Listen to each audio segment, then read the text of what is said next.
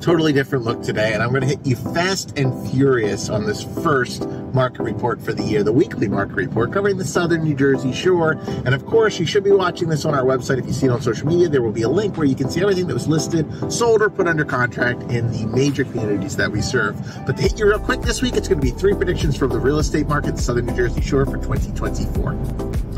Number one, by the end of the year, interest rates will be lower. And I guess sort of the one thing that's worth mentioning is we thought that would be in the second half of the year, and now looks like it's going to be in the first half of the year that things are going to start moving. So that should actually probably encourage buyers to show up more and more as the year goes on.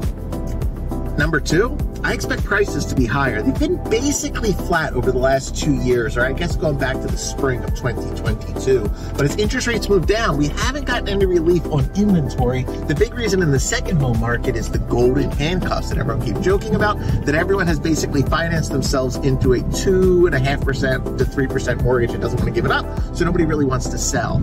Uh, as interest rates become lower this year, we get a lot more buyer activity and inventory remains low. I expect prices, unlike the last two years where they've been flat, to be higher by the end, by the end of 2024.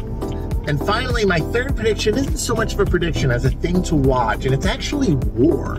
Um, I do have some reservations. The war in Ukraine and the war um, going on currently in, in Israel, uh, Gaza, um, might begin to affect things. The biggest issue right now is uh, shipping things going on. Um, could affect gas prices, other supply prices, and it could be something that leads us back into an inflationary environment. If that occurs, all bets are off because everything is operating under the assumption that the two year battle against inflation was largely won.